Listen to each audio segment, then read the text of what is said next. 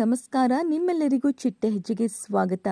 Colours Kannada ವಾಹಿನಿಯಲ್ಲಿ ಹೊಸ ಧಾರಾವಾಹಿಯ promo release ಆಗಿದೆ. ಹೌದು ದೃಷ್ಟಿಬಟ್ಟು ಎಂಬ ಹೊಸ ಧಾರಾವಾಹಿ ಕಲರ್ಸ್ ಕನ್ನಡ ವಾಹಿನಿಯಲ್ಲಿ ಸದ್ಯದಲ್ಲಿ ಪ್ರಸಾರವಾಗಲಿದೆ. ಈ ಧಾರಾವಾಹಿಯನ್ನ ಗಟ್ಟಿಮೇಳ ಧಾರಾವಾಹಿ ಖ್ಯಾತಿಯ ರಕ್ಷ್ ಗೌಡ ಹಾಗೂ ಅವರ ಪತ್ನಿ ಅನುಷಾ ದಂಪತಿಯ ಪ್ರೊಡಕ್ಷನ್ ಹೌಸ್ ಮೂಲಕ ನಿರ್ಮಾಣವಾಗಲಿದೆ.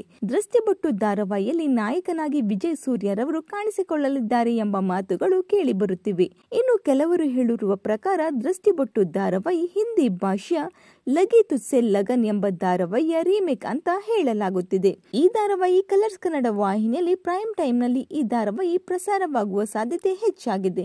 ಇನ್ನು ಶ್ರವಂತ್ ರವರು ಈ ಧಾರಾವಾಹಿಯ ನಿರ್ದೇಶನವನ್ನ ಮಾಡಲಿದ್ದಾರೆ. ಈ ಧಾರಾವಾಹಿ ಬಿಗ್ ಬಾಸ್ ಕನ್ನಡ ಸೀಸನ್ ಹನ್ನೊಂದು ಪ್ರಾರಂಭವಾಗಕ್ಕೂ ಮುನ್ನ ಪ್ರಸಾರವಾಗಲಿದೆ. ಇನ್ನು ವಿಜಯ್ ಸೂರ್ಯರವರು ಈ ಧಾರಾವಾಹಿ ನಾಯಕನಾಗಿ ಬಂದರೆ ನಿಮಗೆ ಖುಷಿಯಾಗತ್ತಾ ಇಲ್ಲವಾ ಅನ್ನೋದನ್ನ ಕಮೆಂಟ್ ಮೂಲಕ ತಿಳಿಸಿ.